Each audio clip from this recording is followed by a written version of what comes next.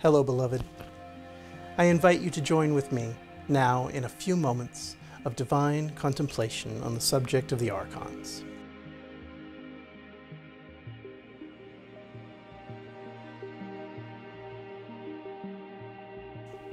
Let all extraneous thoughts pass from your mind and find yourself in a relaxed state.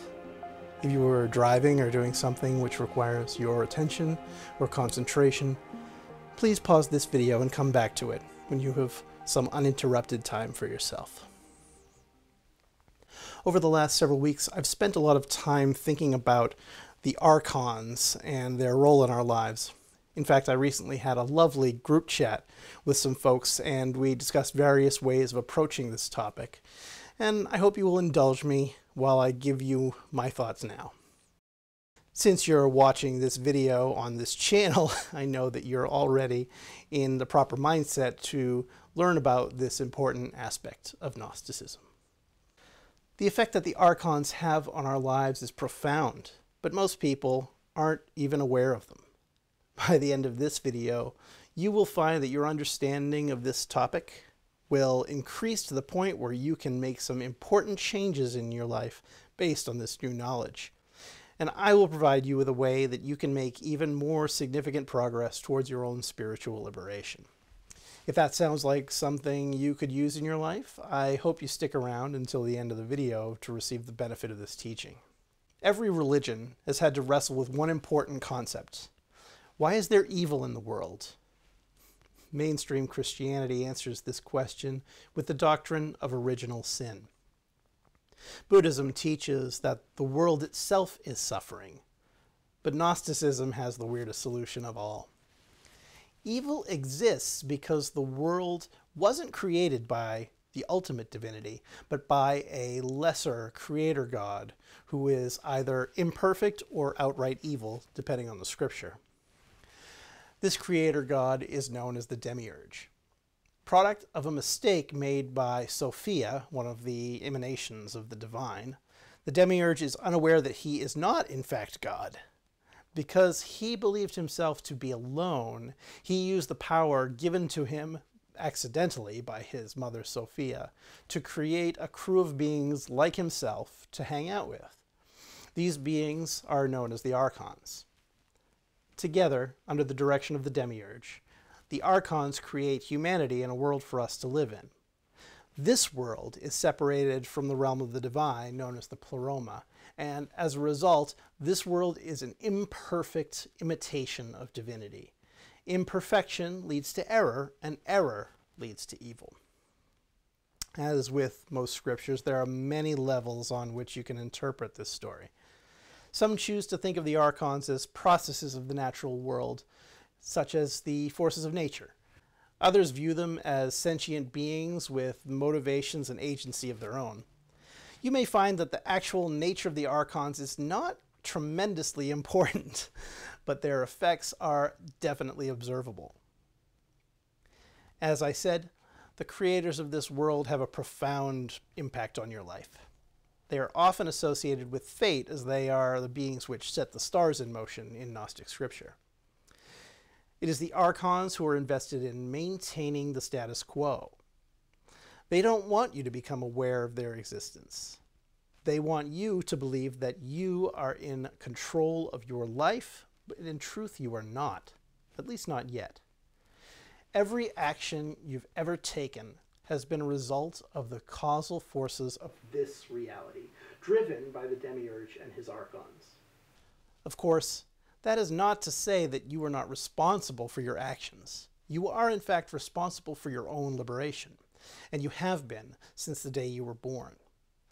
Jesus and other spiritual teachers knew this and taught these truths to their disciples so that we can change our lives and become free.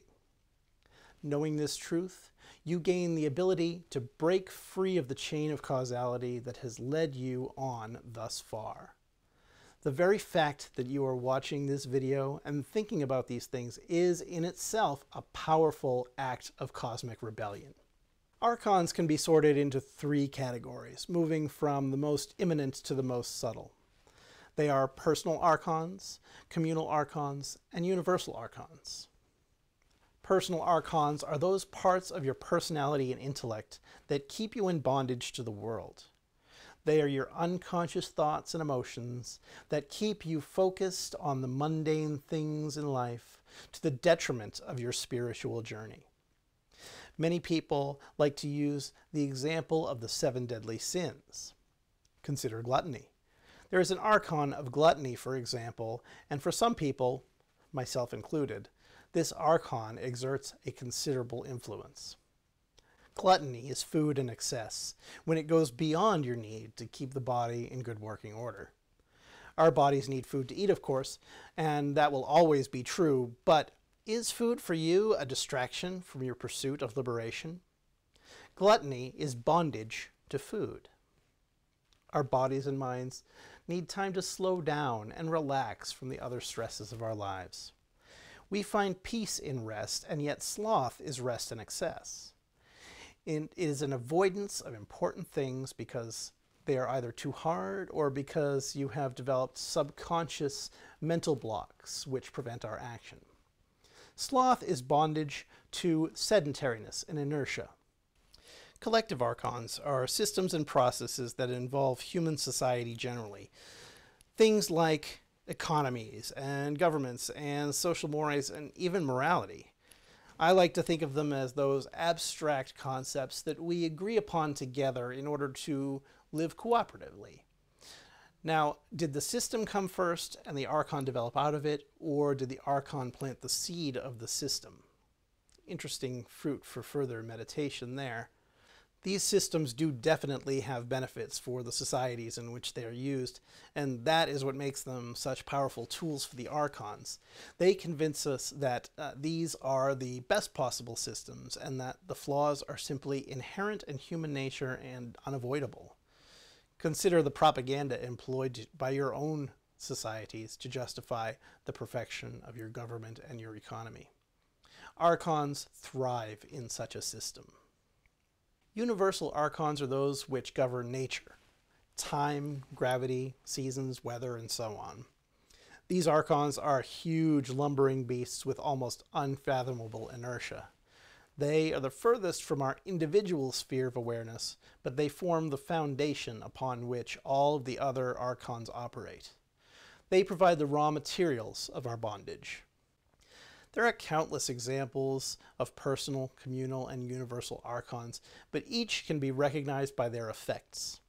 That which keeps you from awareness of your true divine nature is archonic. What archons do you struggle with? There are two schools of thought on the agency of the archons. Some believe that they have their own individual wills and motivations, similar but not the same as human will and motivation. They act intelligently to create new traps for us in the prison of matter. Others believe that the archons are mindless forces and they simply do what they have been programmed to do and can't be said to have any motivation at all. The truth is, it doesn't really matter. They are there and they have real effects. Our only responsibility is to change ourselves and begin to move away from the archons and towards God. Of course, one of the most profound secrets of Gnosticism is that the divine is present in us, in the world, and in the archons as well. But that's perhaps a story for another time, when you're a bit more ready. Thus, the true aim of Gnostic religion is to liberate you from the forces of the archons so that you can be totally free. Gnosticism teaches you how to become aware of your state of imprisonment and gives you the tools to liberate yourself. Easier said than done, of course. If it were as simple as watching a video about it on YouTube, you would surely already have done it. The first step towards liberation is to recognize that there is something wrong. The world contains beauty and joy, yes, but also pain and suffering. Recognizing the influence of the archons is the first step towards overcoming them. Try to observe the world closely.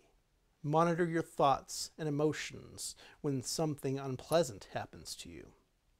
When you find something you believe to be archonic, try to make a choice that will lead you away from that unpleasantness. Replace feelings of hate and fear and pain with love. You have the ability to take control and direct your mind away from the archons and towards God, though it will take considerable practice. I'd like to help you liberate yourself. I have 15 years of experience studying and practicing Gnosticism, and it is my deepest wish to share that with you. I'd like you to make an appointment with me for 30 minutes. Just go to anthonysilvia.com slash meet and pick a time that works for you. We'll discuss your spiritual path and your goals, and I will work with you to find a spiritual practice that can help move you towards your liberation. It is my hope and my calling to see you finally free of the snares of the archons and know the kingdom of heaven here on earth. One thing to be aware of, however, is that any discussion of a spiritual nature must necessarily be incomplete. There is no higher authority than your true self, and you may find that your meditations and devotions lead you to new insights of the archons. This is wonderful. How delighted I am to know that you will be learning and growing in the light of the divine. Please feel welcome to share this video and this invitation with your family and friends. Be sure to subscribe to the Gnostic Wisdom Network because I have a lot more to show you. May you live in the light of the Pleroma May the peace of God, which is beyond all understanding, keep your hearts and minds in the knowledge and love of God. May Almighty God bless you, the Father, the Word, and the thought. Amen.